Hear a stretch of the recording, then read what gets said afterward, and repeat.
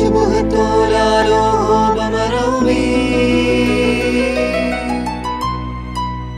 മിശിഹായുടെ സ്നേഹം പ്രഭാതത്തിൽ എല്ലാവരിലും വസിക്കട്ടെ വചനകിരണത്തിലേക്ക് ഏവർക്കും സ്വാഗതം ആത്മാവിന്റെ ഫലങ്ങളിൽ ഉൾപ്പെടുന്നതാണ് ദയയും പരോപകാരവും ക്രിസ്ത്യാനികളാണെങ്കിൽ ഈ ഫലം തങ്ങളുടെ ജീവിതത്തിൽ സ്വഭാവ ഗുണങ്ങളായി കാണപ്പെടേണ്ടതുണ്ട് അല്ലെങ്കിൽ നിശ്ചയമായും അവരുടെ ജീവിതത്തിൽ പ്രകടമാകേണ്ട കാര്യമാണ് ദയയും പരോപകാരവും എന്ന ആത്മാവിന്റെ ഫലങ്ങൾ. യേശു നല്ല ശമര്യക്കാരന്റെ കഥ പറഞ്ഞപ്പോൾ നിത്യജീവന അവകാശിയായി തീരുവാൻ ഈ ഗുണങ്ങൾ ഒരു വ്യക്തിയിൽ ഉണ്ടായിരിക്കണമെന്നുകൂടി നമ്മെ ഓർമ്മിപ്പിക്കുകയാണ്. ആത്മാവിന്റെ ഫലം പുറപ്പെടുവിക്കുന്നവരിൽ ഇത് കണ്ടെത്തുക തന്നെ ചെയ്യും. കള്ളന്മാരുടെ ആക്രമണത്തിനിരയായ യാത്രികനെ ശമര്യക്കാരൻ ശുശ്രൂഷിച്ചതിന് ശേഷം തന്റെ വാഹനത്തിൽ കയറ്റി വഴി അമ്പലത്തിലേക്ക് കൊണ്ടുപോയി രക്ഷ ചെയ്തു. ആയതിലേക്ക് സ്വന്തം പണം ചെലവാക്കുകയും ചെയ്തു. ഈ മാതൃകയാണ് ക്രിസ്ത്യാനികളുടെ മുമ്പാകെ തമ്പുരാൻ വെച്ചിരിക്കുന്നത്. ഏറെ തണുപ്പുള്ള ഒരു രാത്രി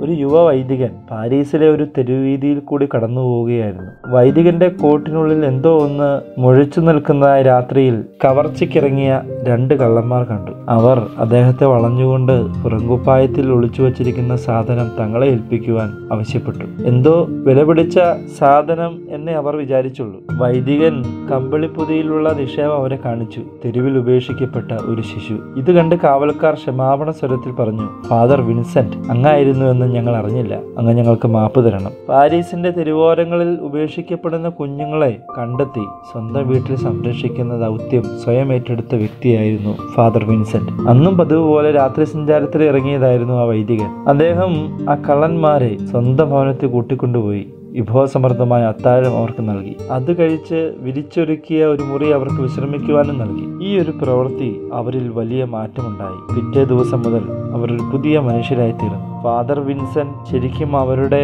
നന്മയിൽ മാത്രം ഫോക്കസ് ചെയ്യുകയും താല്പര്യം പ്രകടിപ്പിക്കുകയും ചെയ്തു. അത് അവർക്ക് രൂപാന്തരം ഉണ്ടാക്കി എന്ന് നാം കാണുന്നു. ഈ വൈദികനാണ് പിന്നീട് അറിയപ്പെട്ട വിൻസെന്റ് ഡി പോൾ എന്ന ലോക പ്രശസ്തനായ വ്യക്തി. പരിശുദ്ധാത്മാവിന്റെ ഫലമാണ് ദയവ് പരോപകാരം എന്നിങ്ങനെയുള്ള പുണ്യങ്ങൾ. പരിശുദ്ധാത്മാവ് എന്നിൽ പ്രവർത്തിക്കുന്നുണ്ടെങ്കിൽ ഈ പുണ്യങ്ങളൊക്കെയും എന്നിലൂടെ മറ്റുള്ളവരിലേക്ക് ഒഴുകുന്നു എന്ന് നാം പരിശോധിച്ച് അറിയേണ്ടതാണ്. ക്രിസ്തുവിന്റെ സമാധാനം നിങ്ങളോടുകൂടെ.